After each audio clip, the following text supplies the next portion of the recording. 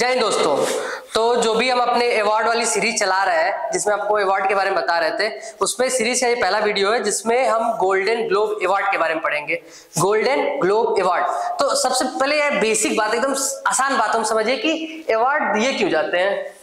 क्या होते हैं अवार्ड और अवार्ड दिए क्यों जाते हैं? मैं पेन पेन सेलेक्ट कर लेता हूँ। और ये रहा इरेजर तो देखिए अवार्ड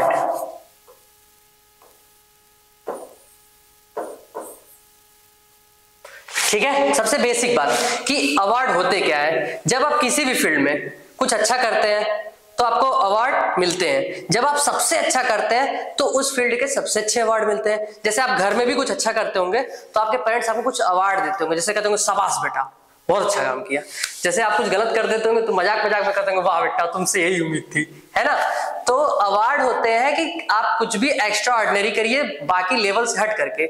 जैसे आप डेली सुबह सात से आठ बजे तक ब्रश करते होंगे, नहाते होंगे। लेकिन एक काम करिए, एक दिन चार ही बजे उठ के पढ़ना शुरू कर दीजिए। तो घर वाले क्या करेंगे? अवार्ड देंगे। क्या देंगे?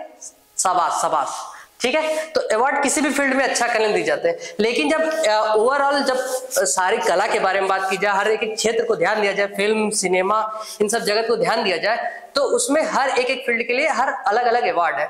तो कुछ अवार्ड इंडिया लेवल पे होते हैं, कुछ वर्ल्ड लेवल पे होते हैं। ठीक है? तो पूरे वर्ल्ड में सिनेमेटोग्राफी किस फ़ील्ड के लिए? सिनेमेटोग्राफी अब ये सिनेमेटोग्राफी क्या होती है?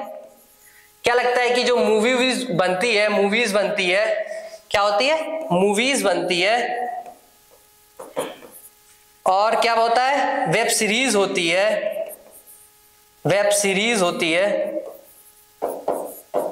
और क्या होता है? सीरियल्स होते हैं। ढेर सारी चीज़ें होती हैं। सीरियल्स होते हैं। और उसके बाद डॉक्यूमेंट्री होती है। छोटा छोटा लिख देता हूँ। ठीक है, इसको भी छोटा कर देता हूँ, इसको डॉक्यूमेंट्री होती है। इन सब में जो सबसे बेस्ट करता है, उसको अवार्ड दिया जाता है। नेशनल लेवल पे सबसे बड़ा, अपने भारत देश का जो सबसे बड़ा अवार्ड है, वो कौन सा है? दादा साहब फाल्के अवार्ड बट जब हम इंडिया पूरे वर्ल्ड लेवल पे बात करेंगे तो सबसे बड़ा अवार्ड कौन सा है? ऑस्कर अवार्ड क्या? ऑस्कर अवार्ड जिसको और क्या बोलते हैं? एकेडमिक अवार्ड तो कोई ऑस्कर अवार्ड बोले, कोई एकेडमिक अवार्ड बोले, बात सेम है। दूसरे नंबर पे कौन से अवार्ड आते हैं? दूसरे नंबर पे आता है ग्रैमी अवार्ड ग्रैमी अवार्ड ये तो सुना हुआ लग रहा है ना, अभी इंडिया के एक लोग को तीन ग्रैमी अवार्ड मिला है। एक ही बार में तीन नहीं मिला दो पिछली बार के मिले थे, एक इस बार मिला है, ठीक है? और तीसरे नंबर पे जो आता है, जिसको बोलते हैं गोल्डन ग्लोब अवार्ड तो आपके सामने पेश है गोल्डन ग्लोब ये कुछ दिखने में ऐसा ही लगता है गोल्डन ग्लोब अवार्ड ठीक है? ये गोल्डन ग्लोब का मतलब क्या होता है? गोल्डन गोल्डन मीन्स सोने का।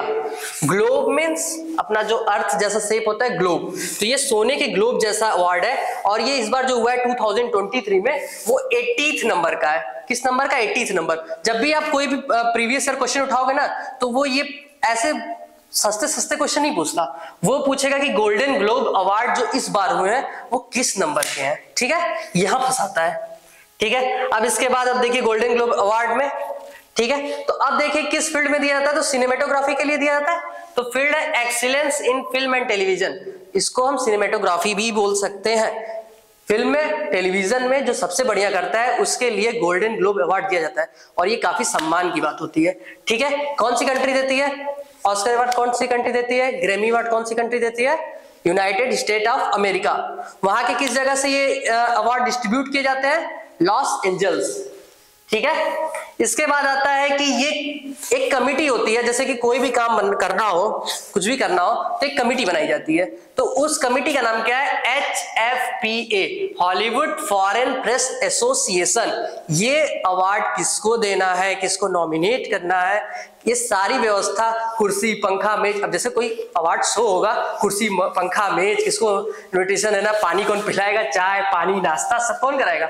ये सब एच एफ़ पी एस देखती है, ठीक है? यह आस्कर और ग्रैमी के बाद तीसरे नंबर का है। सबसे ज़्यादा गोल्डन किसको मिला है ये पूछ सकता है। La La Land La La Land इसे मिला है 2016 में seven seven golden globe award ठीक है? इसके बाद, इससे जो पहले 2022 का जो 79 नंबर का गोल्डन ग्लोब अवार्ड था, वो किसको मिला था? उस, उसको अभी चर्चा करते हैं। उससे पहले मैं आपको ये बता देता हूँ कि ये जो गोल्डन ग्लोब अवार्ड है ये कब शुरू किए गए थे? इनकी हिस्ट्री के बारे में कुछ बेसिकली जान लीजिए। तो ये शुरू किए गए थे 1943 में। ये एच एफ़ पी ए जब पहले पढ़े एच एफ़ पी ए का गठन किया गया था। 1944 में ये अवार्ड बटे थे। तो अब मान लीजिए कि इस साल का लीजिए 2023 में अवार्ड बटे हैं। तो क्या 2023 की मूवी के लिए बटे हैं? नहीं ना? ये 2022 की मूवी के लिए बटे होंगे। तो उसी तरह 43 में इसका गठन किया गया। तो 43 44 में पहली बार बांटा गया तो 44 की मूवी के लिए नहीं 43 की मूवी के लिए बांटा गया था। ठीक है? इज़ दैट क्लियर ओके आगे चलते हैं। ठीक है? तो सेवेंटी नंबर का जो गोल्डन ग्लोब अवार्ड है, ये किस best motion film motion film film जो होती है बेसिकली पिक्चर्स को ऐड करके उसको मोशन मिला के बनाई जाती है। इसलिए इसको बेस्ट मोशन फ़िल्म बोलते हैं, जो कि मिला था द पावर ऑफ़ डॉग और इसके जो हीरो थे, इनका नाम है बेस्ट एक्टर का जिसको अवार्ड मिला है, वो है Will Smith my favourite also ठीक है? विल स्मिथ उसका जो बेस्ट एक्ट्रेस का अवार्ड मिला है, वो निकोल किडमैन इनका नाम आप भूलिएगा नहीं निकोल किडमैन एक बार रिवाइज ज़रूर करिएगा।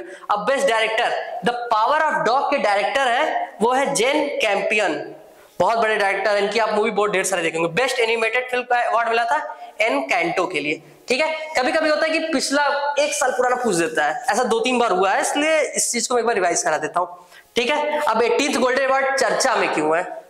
सबसे मेन चीज़ तो ये हुआ ना कि आखिर इस चर्चा में क्यों है? तो चर्चा में इसलिए है क्योंकि इस बार पूरे मतलब पूरे इतिहास में पहली बार ऐसा हुआ है कि बॉलीवुड के किसी बॉलीवुड सॉरी किसी इंडिया के किसी सॉन्ग को गोल्डन ग्लोब में नॉमिनेट करने के साथ साथ अवार्ड भी दिया गया है। बेस्ट ओरिजिनल सॉन्ग किसको दिया गया है? अभी बताते हैं।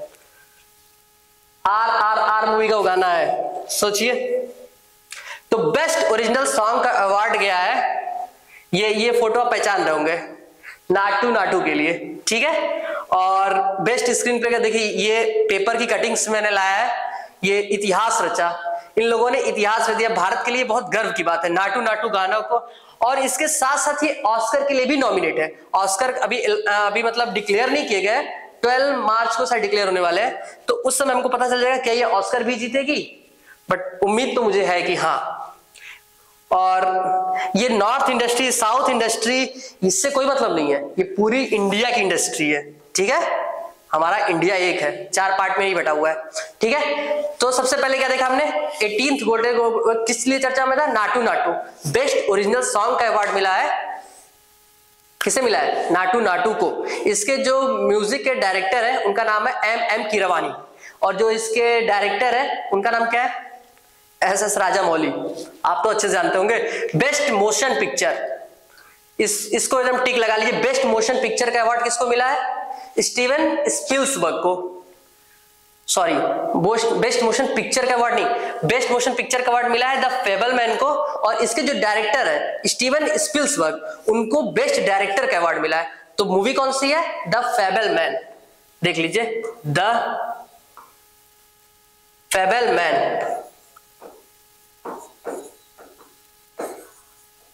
अब ये मूवी खा, खास क्यों है मैं ये बता देता हूँ। मूवी इसलिए खास है क्योंकि ये जो कहानी है स्टीवन स्पिल्सबर्ग के बचपन की कहानी से रिलेटेड है। क्योंकि क्या हुआ हुआ था कि जब स्टीवन छोटे थे तो इनके मम्मी पापा का तलाक हो गया था। आप आप तो इंडिया में रहते हो आप तो जानते हो ना जब मम्मी पापा में कभी ऐसा कुछ होता है तो बच्चों पर बहुत बुरा असर पड़ता है ठीक है? तो इसलिए इन्होंने इनके ऊपर मतलब माइंड पे जो भी असर पड़ा था उस उसी समय से इनका मन था कि मैं मूवी बनाऊँगा और जब मूवी है ना ये जब आप इसको देखेंगे तो आपको पता चलेगा कि मूवी नहीं है। ऐसा लगता है लव लेटर पढ़ रहे हैं आप। एक एक पॉइंट के बाद आपको मतलब लव लेटर पढ़ने में क्या होता है कि एक लाइन पढ़ा, मज़ा आ गया। दूसरा पढ़ा, और मज़ा आ गया। तीसरा पढ़ा, और मज़ा आ गया। तो इसको जैसे जैसे पढ़ते जाएँगे ना, वैसे वैसे आपको एक एक पॉइंट दिल को छूता जाएगा। ठीक है? मतलब मैं इससे पर्सनली इंस्पायर हूँ। अच्छा लगता है। बेस्ट एक्टर और बेस्ट एक्ट्रेस का अवार्ड किसे मिला है? ठीक है, ये भी बहुत इंपॉर्टेंट क्वेश्चन है। तो बेस्ट एक्टर का अवार्ड मिला है ऑस्टिन बटलर ऑस्टिन बटलर साहब को मिला है बेस्ट एक्टर का अवार्ड। किस मूवी के लिए मिला है? एलविश। एलविश। ठीक है? तो कभी कभी पूछ देता है कि बेस्ट एक्टर का अवार्ड, जो कि ऑस्टिन बटलर को मिला है, इस बार एटीन गोल्डन ग्लोब के लिए, वो किस मूवी के लिए मिला है? एलविस के लिए। उसके बाद जो उनकी फ़ोटो थोड़ी कटी हुई लग रही है बट ठीक है। थोड़ी सी धुधली है, कोई दिक्कत नहीं। तो गोल्डन ग्लोब अवार्ड का जो बेस्ट एक्ट्रेस का अवार्ड मिला है, वो मिला है केट ब्लैंचेट केट ब्लैंचेट किस मूवी के मिले लिए मिला है? टार ठीक है? इसके बाद देखिए। बेस्ट म्यूजिकल कॉमेडी म्यूजिकल या कॉमेडी एक्ट्रेस जो म्यूजिकल या कॉमेडी एक्ट्रेस के लिए जो अवार्ड मिला है वो मिला है मिशेल यो मिशेल यो अब बताता हूँ ये इसलिए इतना, इतना खास क्यों है? क्योंकि इन्हें भी ऑस्कर के लिए नॉमिनेट किया जा चुका है। और ये सिर्फ़ अपने कंट्री की नहीं पूरे ईस्ट एशिया के लिए गौरव की बात है, क्योंकि ये एक लौती ऐसी है जिनका पहली बार नॉमिनेशन हुआ है ऑस्कर के लिए। ठीक है? इनका नाम क्या है? मिशेल यो किसके लिए मिला है? For everything everywhere at once ठीक है? अभी मैं सब रिवाइज करा दूँगा। इसके बाद बेस्ट डायरेक्टर का अवार्ड किसे मिला था? स्टीवन स्पिल्सबर्ग को किस मूवी के लिए मिला था? द फेबलमैन डन तो द फेबलमैन को मिला total five Grammy award sorry five golden globe award best television series का मिला है हाउस ऑफ़ द ड्रैगन इसका तो आप यूट्यूब पे पूरा छाया रहता है बड़ा सा ड्रैगन है वो जो आग निकलता है वो लड़की है ये आप लोगों ने देखा होगा। Uh, कौन सी House of the Dragon best television series ठीक है? चाहे ओटीटी प्लेटफॉर्म पे भी आप देखे होंगे। बेस्ट एनिमेटेड मूवी का मिला है award Guillermo del Toro's Pinocchio इसको आप पूरा नाम तो शायद नहीं याद कर पाओगे तो पिनोकियो याद करिए पिनोकियो पिनोकियो एक अब एनिमेटेड है, कोई रियल स्टोरी तो है नहीं बट ये रियल स्टोरी जैसी ही है, इसमें बताता है कि कोई लड़का जो सबसे अलग होता है, ठीक है? वो सबसे अलग होना सबसे गलत होना नहीं होता, सबसे अलग होना ये ईश्वर बनाते हैं इसमें आप कुछ नहीं कर सकते। तो इसमें एक लड़का जो सबसे अलग होता है, वो कैसे अपनी लाइफ को आगे बढ़ाता है, ठीक है? तो अभी तो ये खत्म हो गया, मैं आपको एक बार उसका रिवीजन करा देता हूँ। तो सबसे पहले देखिए कि इस बार 2023 में एटीथ गोल्डन अवार्ड मिला, किस मूवी को मिला? द फेबल मैन उसके डायरेक्टर कौन है? Steven Spielberg. ठीक है? किस एक्टर को मिला?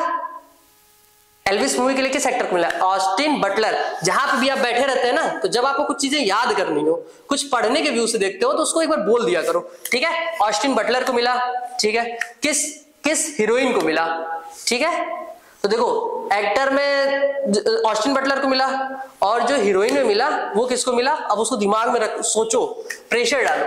टार मूवी के लिए मिला है, ठीक है? टार मूवी के लिए किस किस हीरोइन को मिला है? केट ब्लैंचेट को। और जो म्यूजिकल कॉमेडी मूवी के लिए मिला था, वो मिला था मिशेल यो को। किसके लिए? Everything everywhere all at once इसके बाद किस बेस्ट ओरिजिनल सॉन्ग या किस इंडियन सॉन्ग को इस बार का गोल्डन ग्लोब अवार्ड मिला है? तो नाटू नाटू को। और वो ऑस्कर अवार्ड के लिए भी नॉमिनेट है। एक ही बार पूरा रिवीजन हो गया। किस फ़र्स्ट इंडियन सिंगर को क्वेश्चन ध्यान सुनिएगा। किस फ़र्स्ट इंडियन सिंगर को गोल्डन अवार्ड मिला था? फ़ोटो तो पहचान ही रहे होंगे ना। ये है ए, आर, रहमान साहब। जो भी इंडिया के लिए अवार्ड है, उसे इज़्ज़त देना। वो आपके देश का नाम ऊँचा करता है। ठीक है? किस सन में मिला था? 2009 में। कुछ याद आ रहा है? किस सॉन्ग के लिए मिला था? जय हो। किस मूवी के लिए मिला था?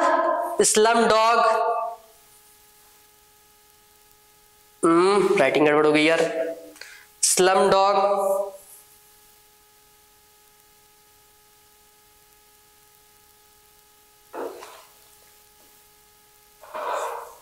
Slum dog Millionaire